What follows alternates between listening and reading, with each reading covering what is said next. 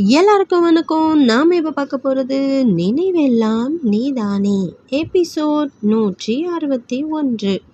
உடைக்கப்பட்ட பிடிவாதம். பார்வதிக்கு என்ன நடக்க போகுது? அகிலாம்மா மருமகன் சொன்னதை கேட்டதும் ஆதியும் ஷாமும் எப்படி ரியாக்ட் பண்ண போகிறாங்க அடுத்து அகிலாம்மாவுக்கு என்ன நடக்க போகுது? அவங்களோட நடவடிக்கைகள் என்னவா இருக்க போகுது?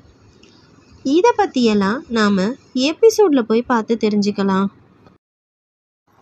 அதே நாள் மதிய நேரம் மருத்துவமனை. ஆதி ஷாம் பதட்டமாக ஐசியூக்கு வெளியில் நின்றுக்கிட்டு இருக்காங்க கொஞ்ச நேரத்துக்கு அப்புறம் மயக்கமாக இருக்கிற அகில அம்மாவை ஸ்ட்ரக்சரில் வார்டுக்கு கொண்டு போகிறாங்க ஆதி அதை பார்த்து டென்ஷன் ஆகிறாரு. அப்போது டாக்டர் வெளியே வரவே அவர்கிட்ட போய் ஆதி டாக்டர் அம்மாக்கு என்னாச்சு? ஏன் மயக்கமாக இருக்காங்கன்னு பதட்டமாக கேட்குறாரு அதுக்கு doctor nothing to worry mister Aadhi அவங்க டயர்டில் மயங்கியிருக்காங்க. தட்ஸ் ஆல் ஃபியூ மினிட்ஸில் நார்மல் ஆகிடுவாங்கன்னு ஆறுதல் சொல்கிறாரு ஆதி உடனே அம்மா ஏற்கனவே பிளட் கொடுத்துருக்காங்க. அவங்களுக்கு அப்போல்லாம் இப்படி ஆகலையே டாக்டர்னு கேட்குறாரு உடனே டாக்டர் அவங்க காலையிலேருந்து சாப்பிடாம இருந்திருக்காங்க. அதனால் அவங்க கிட்ட பிளட் எடுக்க மாட்டேன்னு சொன்னேன். ஆனால் அவங்க பிடிவாதமாக என் மருமகளுக்கு நான் இப்போ ரத்தம் கொடுத்தே ஆகணும்னு சத்தம் போட ஆரம்பிச்சிட்டாங்க. உங்கள் அம்மாவோட பிடிவாதமும் கோபமும் தான் உங்களுக்கு தெரியுமேன்னு சிரிச்சுக்கிட்டே சொல்கிறாரு டாக்டர் ஆதியை பார்த்து பார்வதிக்கும் கொஞ்சம் அர்ஜெண்ட்டாக பிளட்டு தேவைப்பட்டுச்சு. அதான் வேறு வழி இல்லாமல் மேடம் கிட்டேருந்து பிளட் எடுத்துக்கிட்டோம். அதான் டயர்டாக இருக்காங்க. வேற ஒன்றும் இல்லைன்னு சொல்கிறாரு ஆதி உடனே பார்வதின்னு கேட்க டாக்டர் அதுக்கு now she is out of danger but she has to be in அப்சர்வேஷன்னு சொல்கிறாரு ஷாம் உடனே நாங்கள் போய் பார்க்கலாமா டாக்டர்னு கேட்குறாரு டாக்டர் உடனே நோ அவங்கள டூ ஹவர்ஸ் கழித்து வார்டுக்கு ஷிஃப்ட் பண்ணிவிடுவோம் அப்போ போய் பாருங்கள் இப்போ வேண்டான்னு சொல்லிடுறாரு. ஆதி ஓகே தேங்க்ஸ் டாக்டர் அம்மாவை போய் பார்க்கலாமான்னு கேட்க டாக்டர் உடனே யாயா போய் பாருங்கன்னு சொல்கிறாரு ஷாம் ஆதியை பார்த்து நான் இங்கே இருக்கேன் ஆதி. நீ போய் அம்மாவை பார்த்துட்டு வான்னு சொல்ல. ஆதி சரின்னு வேகமாக அகிலாமா இருக்கிற ரூமுக்கு போகிறாரு அவங்க மயக்கத்தில் இருக்காங்க. ஆதி அகிலாமா பக்கத்தில் இருக்கிற ஸ்டூலில் உட்காந்து அவங்க கையை பிடிச்சிக்கிறாரு. ஆதி அகிலாமா கையை பிடிச்சிக்கிட்டே மனசுக்குள்ளேயே மா அன்போ வெறுப்போ எல்லாத்தையுமே அவளுக்கு அதிகமாக காட்டுறீங்கம்மா. நீங்கள் மட்டும் மனசு மாறி இருக்கலனா என்னால் அதுக்கப்புறம் நடக்கக்கூடியதை கற்பனை பண்ணி கூட பார்க்க தைரியம் இல்லைம்மா. நீங்கள் மனசு மாறி பார்வதியை உங்கள் மருமகளாக ஏற்றுக்கிட்டதுக்கும் அவள் உயிரை இவ்வளோ ரிஸ்க் எடுத்து காப்பாற்றினதுக்கும் ரொம்ப ரொம்ப தேங்க்ஸ்மா ஆனால் இதுக்கு நான் உங்களை ரொம்ப சங்கடப்படுத்திட்டேன். சாரிம்மா சாரின்னு நினைக்கிறாரு. அப்போது அவர் கண்ணீர் துளி அக்கிலாமா கையில் பட்டு அக்கிலாமா மென்னமாக கண்ணு விழிச்சு ஆதின்னு கூப்பிடுறாங்க. ஆதி நிமிர்ந்து அகிலாம்மாவை பார்த்து சின்ன புன்னகை கொடுக்குறாரு. அக்கிலாமா எழுந்து பொறுமையாக உட்காந்து பார்வதி எப்படி இருக்கா ஆதின்னு கேட்குறாங்க அதுக்கு ஆதி நல்லா இருக்கம்மா அதான் நீங்கள் அவ காப்பாற்றிட்டீங்களேன்னு சொல்கிறாரு அக்கிலாமா விரக்தியான சிரிப்போட இல்லை ஆதி அவ தான் என்ன காப்பாத்திருக்கா? அதுவும் ரெண்டு தடவைன்னு சொல்ல ஆதி புரியாம அகிலாம்மாவை பார்க்குறாரு புரியாம பார்க்குற ஆதியை பார்த்த அகிலாம்மா நீ பேசிட்டு போனதுக்கப்புறம் என் மனசு கேட்கல நீ கெனடா போகிறதையும் நிறுத்தணும். அதே சமயம் என் பிடிவாதத்தையும் விடக்கூடாதுன்னு யோசிச்சு நான் என் உயிரை விட முடிவு பண்ணிட்டேன்னு சொல்கிறாங்க அதை கேட்டு ஆதி அதிர்ச்சியா மான்னு கூப்பிடுறாரு. அகிலாமா உடனே ஆமாம் ஆதி என் சாவு யாருக்கும் பிரச்சனை இல்லாமல் இருக்கணும்னு. என் காரை நானே ஆக்சிடெண்ட் பண்ணி செத்து போகலான்னு நினச்சி தான் ஆள் நடமாட்டம் இல்லாத அந்த பக்கம் போனேன். அப்போ மட்டும் பார்வதி என்னை பார்த்து அவளை காப்பாற்ற சொல்லி கையாட்டலனா கண்டிப்பாக நானே அங்கேயே ஏதாவது மரத்தில் மோதி நான் இல்லாமலே போயிருந்திருப்பேன்னு சொல்கிறாங்க ஆதி இதை கேட்டு ஏமா இப்படியெல்லாம் யோசிச்சிங்க? நீங்கள் இல்லைன்னா நாங்கள் என்ன ஆவோன்னு யோசிச்சிங்களாமான்னு கவலையாக கேட்குறாரு அகிலாமா அதுக்கு மன்னிச்சுடா ஆதி. என் பிடிவாதம் என் கௌரவம் மேலே இருந்த வெறித்தனம் என்னை வேற எதையுமே யோசிக்க விடாமல் பண்ணிடுச்சு. ஆனால் பார்வதி உன்னால் உடைக்க முடியாத என் பிடிவாதத்தை அவ ஈஸியாக சுக்கு நூறாக உடைச்சிட்டான்னு கண் கலங்க சொல்கிறாங்க அகிலம்மா கண்ல இருந்து வந்த கண்ணீரை தொடச்சிக்கிட்டே நந்தினி பார்வதி கிட்ட விஷத்தை கொடுத்து அதை குடிக்கலனா என்னை ஷூட் பண்ணுறதா மிரட்டினா. என்னை காப்பாற்ற தான் பார்வதி விஷத்தை குடிச்சா. அப்போ கூட அவள் எனக்கு சப்போர்ட்டாக நந்தினி கிட்ட எப்படி பேசினா தெரியுமா? அவளால் என்னை எப்படி இப்படி அளவில்லாமல் எந்த எதிர்பார்ப்பும் இல்லாமல் நான் அவகிட்ட பேசின பேச்சுக்கு துளி கூட கோவமோ வெறுப்போ இல்லாமல் நேசிக்க முடியுதுன்னு தான் புரியல ஆதி. ஆனால் அப்போ எனக்கு என் கௌரவத்தை விட அவள் பெருசாக தெரிஞ்சான்னு சொல்லிட்டு அழறாங்க. ஆதி அகிலாம்மா கையை ஆறுதலாக பிடிக்கிறாரு.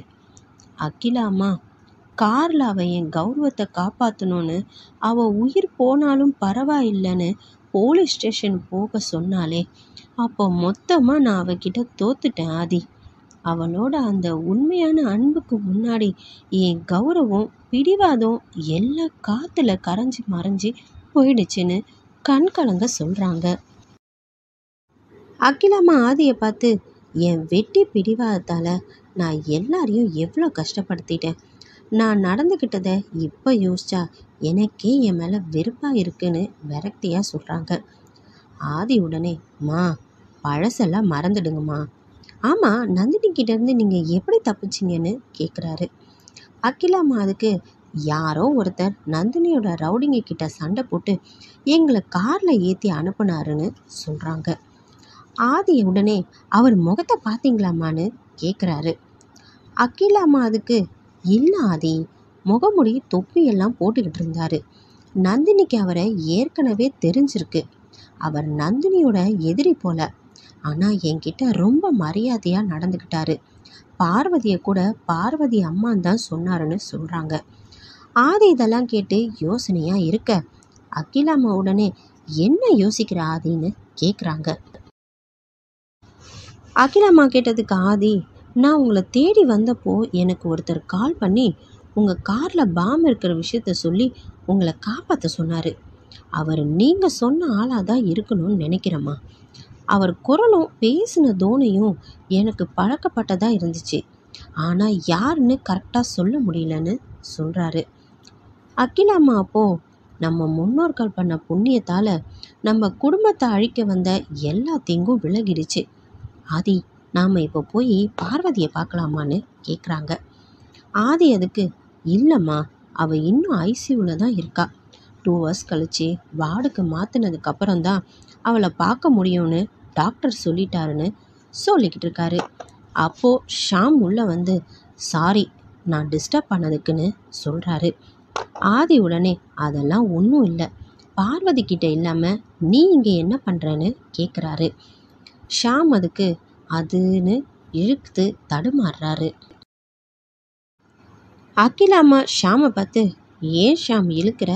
ஆதிக்கிட்ட தனியாக பேசணுமான்னு கேட்குறாங்க ஷாம் அதுக்கு அப்படியெல்லாம் இல்லை ஆண்டி. அங்கிள் ஃபோன் பண்ணிக்கிட்டே இருக்காரு.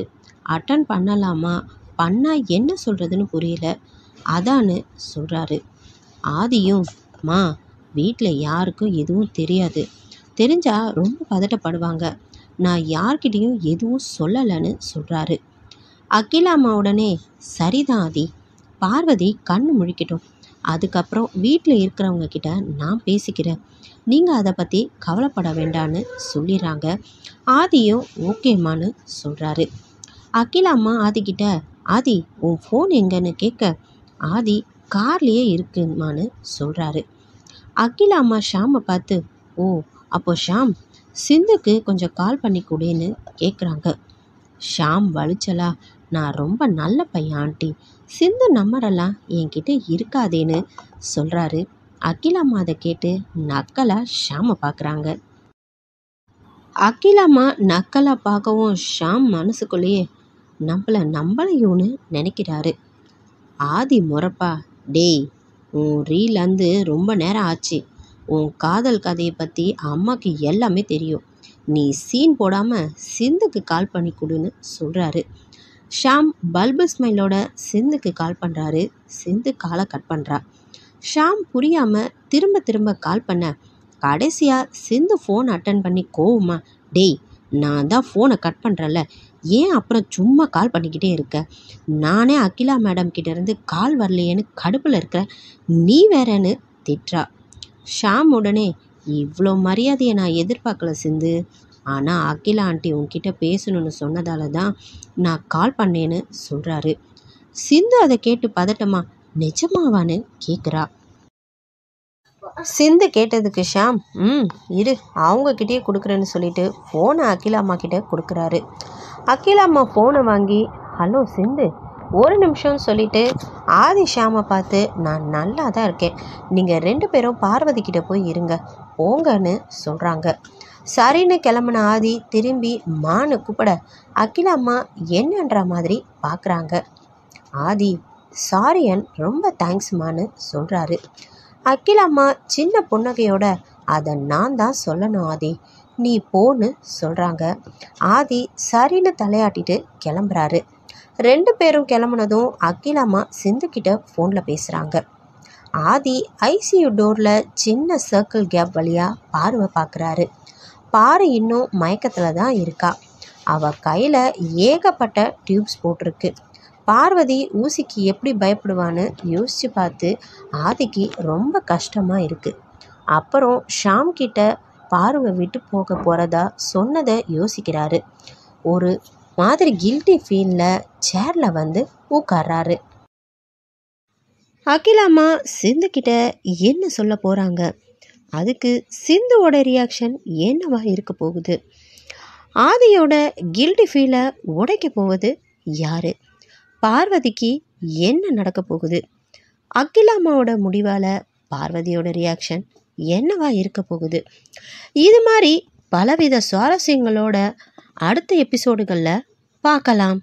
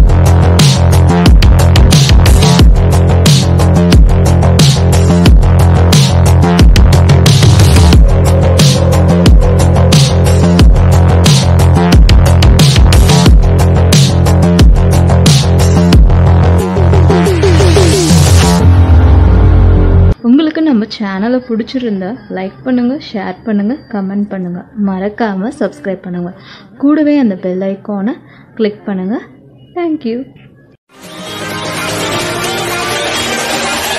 Crack.